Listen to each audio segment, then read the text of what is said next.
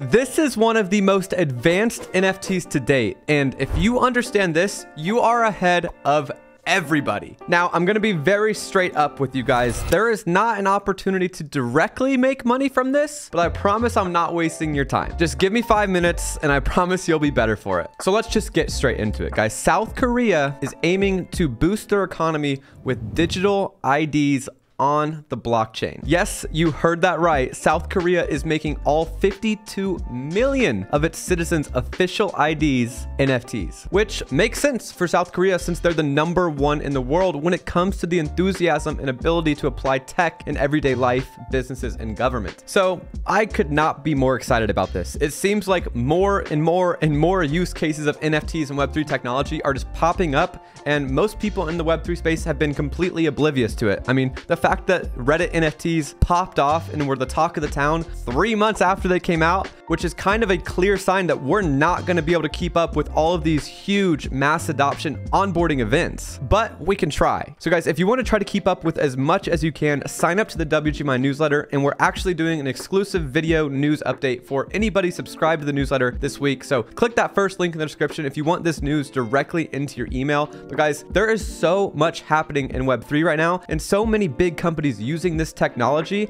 And that's where the real opportunity lies. I really do think the best money making opportunities, flipping and trading NFTs, will exist outside of the Web3 community in the NFT space. And why I think this is because if a company is using this technology to deliver their existing product via an NFT, they're going to have a customer base of millions of people already. And since you understand NFTs, you understand how to buy them, and you see a big company, you're going to figure out that buying process faster than the typical consumers. And on top of that, you already know they have millions of customers that want this product, and now it's in the form of an NFT. You're going to be able to buy it faster than anybody, and then there's going to be an arbitrage opportunity. So that's a little side note. I hope you guys are thinking that way because I personally think that's going to be the best opportunity to make money with NFTs, and that's going to last forever. It's not bull market or bear market. If there's an existing audience and they want this product already and they're selling it in the form of NFT, that means you can make money. So if you're excited about that, guys, just subscribe to the channel. I'm going to be making a lot of videos covering businesses like this and their overall NFT strategies. So if you're excited about stuff like Reddit, if you're excited about stuff like Starbucks, guys, I have a lot more videos like that coming your way. And I promise you there will be a lot of opportunities for you. But back to what the point of this video is, which is Korea using NFTs as IDs for all of their citizens. So right now, obviously guys, they use what they call resident registration cards, which is kind of similar to like a US social security number. And this is how they identify themselves. But this would actually have an app embed these IDs into mobile devices. And the idea of virtual IDs makes sense because right now we have physical IDs. And I mean, if we lose the physical ID, someone can just walk around on the street, they're going to find it, and now they can just go around and act like they're you just because they found this little card on the floor, which isn't very safe. And on top of that, most places that require ID verification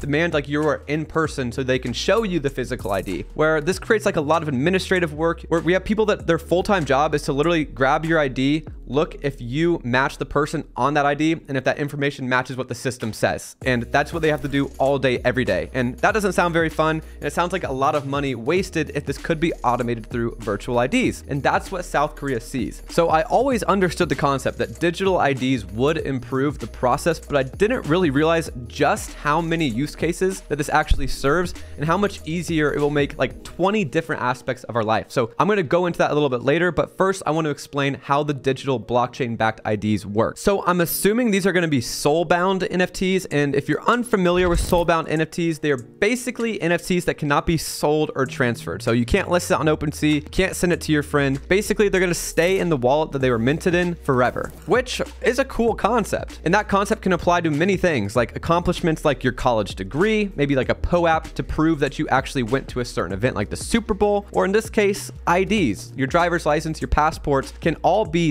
soul-bound NFTs to your wallet to prove you are who you are, that you've accomplished what you said you've accomplished, or that you attended certain lucrative events. These basically serve a very specific purpose where there isn't really monetary value. It's not really an asset, but it's something that you want to tie to your personal identity forever. So there is no real reason to sell it. So in this case, you'll basically have a wallet and the ID will be locked into your wallet and will never be transferable. Now, Brett, what if I lose access to my wallet? Well, not to worry, my friend. You can easily just report that and they can actually blacklist the token ID ID, just like they can with Bitcoin or Ethereum that's stolen. If you guys didn't know that, even though Bitcoin is a decentralized network or Ethereum is a decentralized network, when there are big hacks of hundreds of millions of dollars, there actually is a consensus protocol where people can come together, vote, and actually ban those tokens. So if you lose access to your wallet, the same process will apply. You can just report it to your local government official, and they'll actually blacklist that token ID. And this way, nobody can go around using your ID, selling your ID, just committing fraud under your name. And so in most cases, realistically, a certain level of centralization is in fact better for most customers. I know that's not very popular in the Web3 space, but we have to understand that guardrails and making a little bit of a cushion for the everyday person who might not be that tech savvy or be able to handle self-custody, I think that's a good thing. At the end of the day, you need some sort of power entity to verify that these are the real IDs. And the fact that the government is doing this with IDs embedded into an official app, I feel like that's the only way really to do it. But not only is it more secure, but South Korea actually thinks this could have the economic value of around 3% of their GDP. And so that sounds really weird. How does making IDs digital actually save them 3% of their GDP? But they could yield huge economic benefits in finance, healthcare, taxes, transportation, and other areas. And this is probably going to catch on very quickly because of how convenient it is. They genuinely believe this could increase their gross domestic product by 13% and cut business costs by trillions of dollars by saving time in administrative work, reducing payroll fraud, expanding consumer credit, facilitating trade, and literally spawning new markets. Now, guys, these are not light words. These are huge markets, and all of this can be done with one simple transition, taking your ID from physical to digital on a blockchain. So think about it this way. If they make IDs digital, pretty much any business will be able to fully transition online. So think about it like this. Most businesses are online, but there still are some critical fields that you have to go in person to show your ID, verify you are who you are. Uh, some examples are like a pharmaceutical prescription. If you got a drug prescription from a doctor, you typically have to go into the pharmacy, show your ID, and then get it or even like verifying age restricted substances like alcohol or even gambling. Now, there are a lot more examples, but those are two that should make sense to most people. So think about that. If your ID is in your wallet and your doctor prescribes it to your wallet, you could then just go to a pharmacy's website and order it to be delivered to your house. Same thing with alcohol and gambling. Websites can just create a token gated website and you have to have an ID that shows that you're over the age of 21 to get access to that website. Think about how many doors that opens and how many opportunities there are for innovation and disruption. So guys, I'm entrepreneurial, I'm an opportunist. And so in this case, if these IDs become digital NFTs, you could be the NFT agency that helps the gambling companies, helps the alcohol companies, helps the pharmaceutical companies create token gated websites to restrict anybody under this certain age. Even a car rental website, anybody under the age of 25 cannot rent a car in America. And that's just the truth. And so if you can make a token gated website for that, you can make 30, 50, $100,000 by closing that deal and helping that company change their business model. So it's safe to say this has huge potential. Korea thinks they could reap about $40 billion or 3% of their GDP, like I said earlier, in economic value within a decade. So imagine being that agency that leads the digital ID NFT for your country, bro.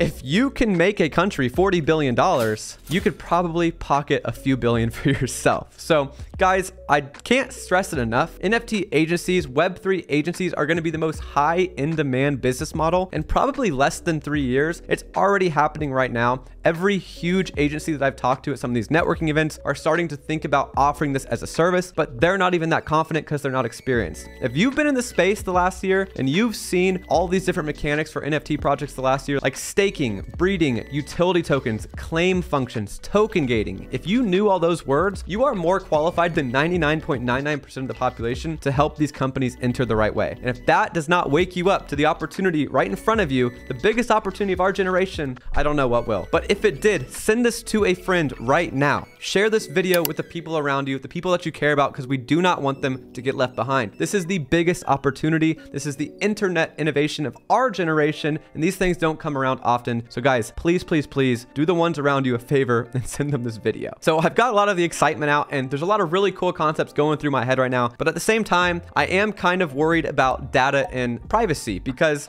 at the end of the day, that's a core function of Web3 and it's something that's very important to me. I don't like the fact that if I do TSA pre-check or clear that they have my information, they're gonna see where I'm going all the time. I never downloaded TikTok for the reason they just collect your data. They can read your messages, listen to your microphone, look at your photos whenever they want. And so if NFT IDs are on a blockchain and the government controls it, that kind of brings up the concerns of like Big Brother could control and know where you're at at all times. But the government in Korea actually addressed this. I really do appreciate the proactiveness of that because the great thing about the blockchain is that it's a public ledger. Everybody can see who owns what. But at the same time, there's certain transactions or certain aspects of day-to-day -day life that you don't just want everybody to see. And so the government did actually announce that they will have no access to information stored on individual phones, including the details of whose digital IDs are used and how they are used or where. Because their system is going to rely on what they're calling decentralized identity. And this is probably one of the most advanced strands of blockchain technology. So obviously people are going to be a little hesitant on that fact, but I do think that this is the evolution of IDs and our whole world is going to be digital. And so I think it's just normal for humans to be skeptical and to resist change, at which I think most people should be skeptical about most things in life. But realistically, I think most people will choose the convenience over the possible privacy risks. So this is really cool. Probably the most advanced use case of NFTs to date, on top of probably the biggest use case of NFTs to date. If 52 million South Koreans get onboarded, that's 52 million new wallet users, new NFT users, and on the track to mass adoption for this beautiful, beautiful technology that we call Web3. If you're excited, please click a like button on the video. We want to make sure as many people get exposed to this as early as possible because this is better for the world. Straight up, there's no other way to put it. But guys, there's endless ways that digital NFT IDs will actually make our day-to-day -day life better. Some more examples would be like facilitating online medical services without visiting doctors in person. If you could just connect your wallet to a hospital's website, you can get on a Zoom link with the doctor and they know exactly who you are and could prescribe you a video over Zoom. You could even enter hotel rooms just by scanning your smartphone over kiosks. Like right now, every hotel, you still have to go up there, show them your ID, they match it with your credit card, and they let you into your room. If your ID was on your wallet, you could just scan a QR code. They know for a fact it's you. And then voila, you get a card and you get access to your hotel room. Even then, when you walk into your room, they can put your NFTs on the screen and give you a personalized welcome, which is just a better experience. Like I said, this is going to prevent ID forgery and theft. It's going to be impossible to forge an ID that's on a blockchain in a specific collection. And of course, if the wallet gets stolen, you could just cancel that out. So theft is pretty much not a problem. So a really big one is actually going to be approving contracts remotely without the need to sign them. So it's kind of like DocuSign, if you guys know what that is. It's what we use to sign all of our contracts, but really anybody can just type in my name and sign it for me. So it's not bulletproof, but if you can actually just connect your wallet and sign a contract for a business deal that you have, say you have $3 million for doing X service and you sign that with your wallet with your ID in it, say the person that you did the work for didn't live up to it, but they signed with their wallet, there is no debate that that was the person that signed. There's no debate that you're the person that signed and that is just a much better way to verify contractual agreements. So that's another huge one in and of itself. And guys, think about it. If this technology gets made, if South Korea makes the online NFT ID, now you can be the person that makes the new DocuSign, but with digital NFT IDs. So there's so much opportunity here, guys. Think about what the world looks like in four or five years. I feel like I'm living in 2027, but this stuff is happening way faster. Another example, probably the last example I'll say, is it can kind of enhance fast fast track boarding processes at airports. Because if you're at an airport, you have to show your ID to get your ticket, you have to show your ID to get into security, and you have to show your ID to get on the plane. And so if you just had your online digital wallet ID. You can just scan that and you should be able to get right through all these processes much more quicker. And guys, just think about all of the money this would save different businesses, save the country, and administrative fees. There are so many people's jobs who are just to sit there and verify you match your ID. And that alone will save hundreds of millions of dollars. And that is a beautiful thing. Just another crazy use case of NFTs. Guys, the future is here. Mass adoption is in process right now. I could not be more excited. I hope this video was worth your time because if you have a deep fundamental understanding of this technology, you're going to benefit as these opportunities pop up. A lot of people think that NFTs are just pictures of animals and a way to make money, calm investments, but these are going to impact every aspect of our day to day life. And the more educated you are, the better off you are, the more understanding you have, the more you're going to be able to see how this will evolve in the future. And if you can see the future, you're going to be ahead. You're going to be able to make a million dollar business like that. So, guys, I hope you enjoyed this video. If it was insightful, I would love to hear your feedback on this type of content. Leave it down in the comment section below. I have a ton, a ton, a ton of video ideas coming out. So, again, like I said earlier, just subscribe to the channel if you like videos like this. But other than that, I hope you have a wonderful day, and I will see you in the next one.